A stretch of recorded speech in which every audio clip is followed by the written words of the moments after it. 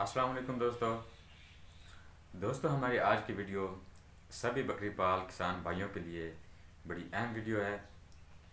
दोस्तों, हम आज की इस वीडियो में बात करेंगे बकरियों की एक ख़ास किस्म की बीमारी, लीवर फ्लू के बारे में। लीवर फ्लू की बीमारी एक लीवर फ्लूक नामी कीड़े की वजह से फैलती है। दोस्तों, लीवर फ्लू को अंग्रेज़ी में बोटल जा भी कहते हैं।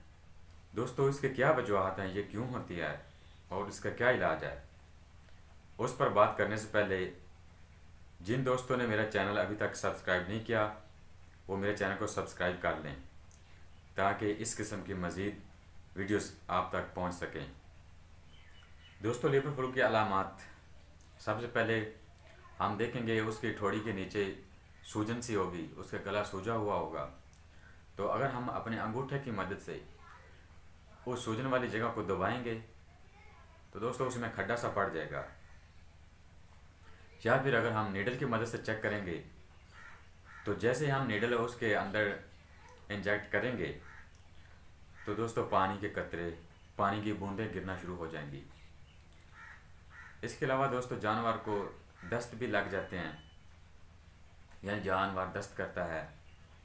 उसके अलावा जानवर को मुसलसल कबत रहना शुरू हो जाती है।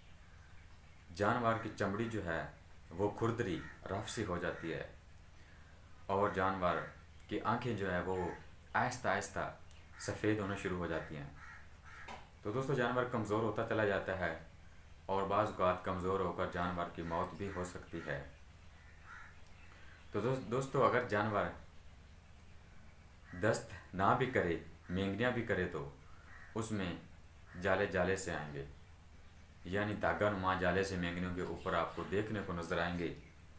या फिर दस्त करे या मेंगनियाँ करे तो उसमें दोस्तों, म्यूकस यानी लेसदार मादा सा आपको नज़र आएगा।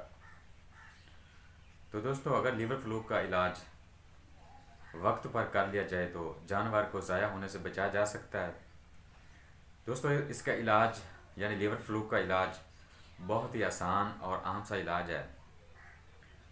दोस्तों, एक बात मैं आपको बताता चलूँ कि लीवर फ्लूक में कोई भी देसी नुस्खा काम नहीं करता।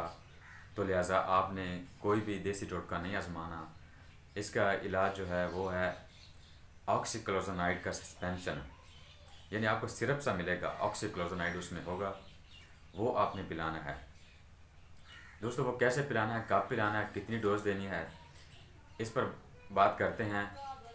दोस्तों, सबसे पहले हमने जानवर को ऑक्सीक्लोजनाइड पिलाने से पहले जानवर को भूखा रखना है।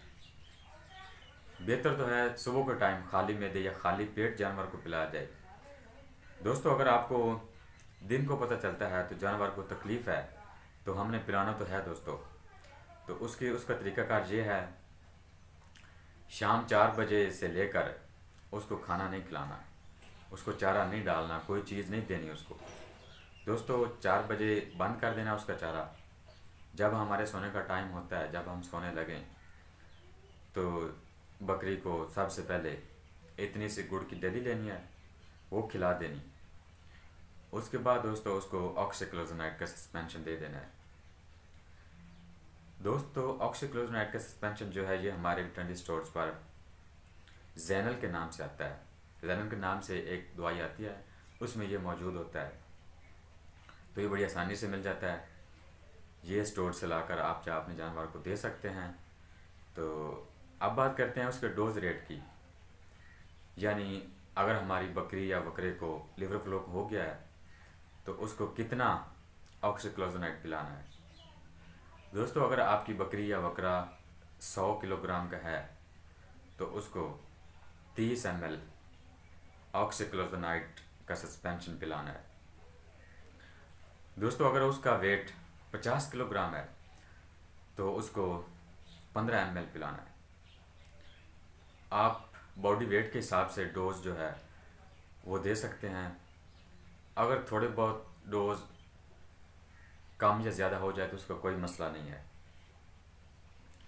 दोस्तों, सबसे बेहतरीन हल ये है लिवर फ्लो का, जो मैंने आपको बता दिया है।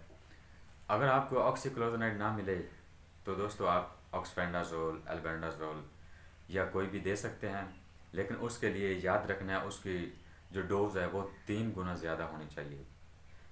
यानी एक बकरी को आप ऑक्सीक्लोजोनाइट दस एम दे रहे हैं तो अगर ऑक्सपेंडाजोल या एल्बेंडाजोल आपके पास है तो वो तीस एम देना पड़ेगी।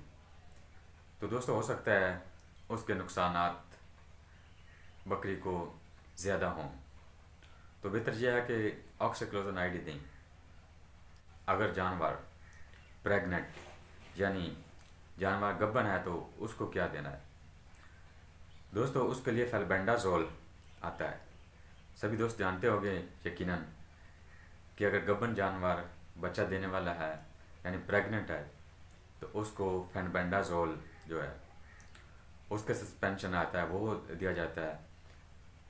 वो प्रेग्नेंट तो दोस्तों, याद रखना है, ये ऑक्सीक्लोजनाइड का सस्पेंशन जो है, या फेनबेंडाजोल है या जो भी है आप देना चाहते हैं, जो भी चीज़ आपको मैसर है, वो सिर्फ़ एक बार देनी है।